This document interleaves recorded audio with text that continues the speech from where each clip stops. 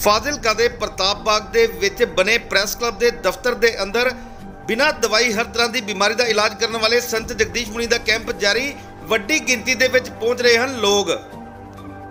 ਫਾਜ਼ਿਲਕਾ ਦੇ ਪ੍ਰਤਾਪ ਬਾਗ ਦੇ ਵਿੱਚ ਬਣੇ ਪ੍ਰੈਸ ਕਲੱਬ ਦੇ ਦਫ਼ਤਰ ਦੇ ਅੰਦਰ ਸੰਤ ਜਗਦੀਸ਼ ਮੁਨੀ ਦਾ ਬਿਨਾਂ ਦਵਾਈ ਹਰ ਤਰ੍ਹਾਂ ਦੀ ਬਿਮਾਰੀ ਦਾ ਇਲਾਜ ਕਰਨ ਦਾ ਕੈਂਪ ਜਾਰੀ ਹੈ।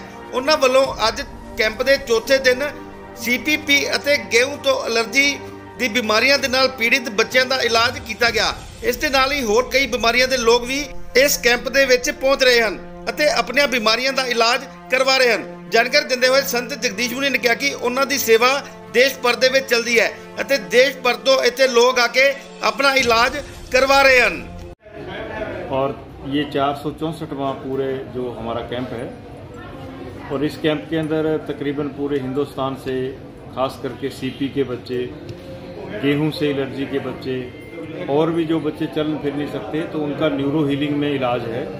ये प्राकृतिक चिकित्सा है तो इससे बच्चे ठीक हो जाते हैं। ज़्यादा जो क्रॉनिक बच्चा होता है, उसको बारह बार इलाज कराना पड़ता है, हर महीने पाँच दिन के लिए तो बच्चा ठीक हो जाता है। और तकरीबन सत्रह अठारह सौ बच्चे इस प्रकार सीपी के और ये ठीक हो चुके हैं। गेहूँ से एलर्जी के तकरीबन चौबीस पच्चीस हज़ार बच्चे जो है, वो इन शिविरों के अंदर ठीक हो चुके हैं। और भी जो जनरल बीमारियाँ जैसे सिर दर्द है माइग्रेन है डिप्रेशन है, आँख, नाक, कान, गले की कोई तकलीफ़ है बैक पेन की कोई प्रॉब्लम है, घुटनों की तकलीफ़ है या पेट की कोई समस्या है तो वो भी पेशेंट लोकल और तकरीबन बाहर से भी आ रहे हैं और सबका इलाज हो रहा है। तकरीबन सात आठ सौ के करीब पेशेंट आज तक आ चुके हैं, आज चार तारीख होगी और सबको इस पद्धति से भरपूर फ़ायदा है। जितने भी लोगों ने इलाज लिया है चाहे उनको कोई बीमारी है, क्रॉनिक बीमारी में थोड़ा समय लगता है।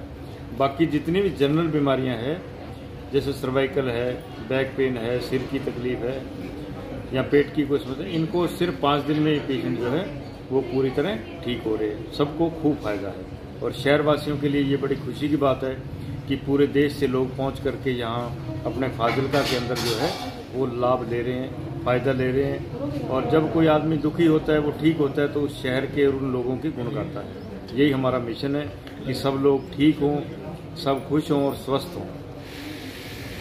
नमस्कार।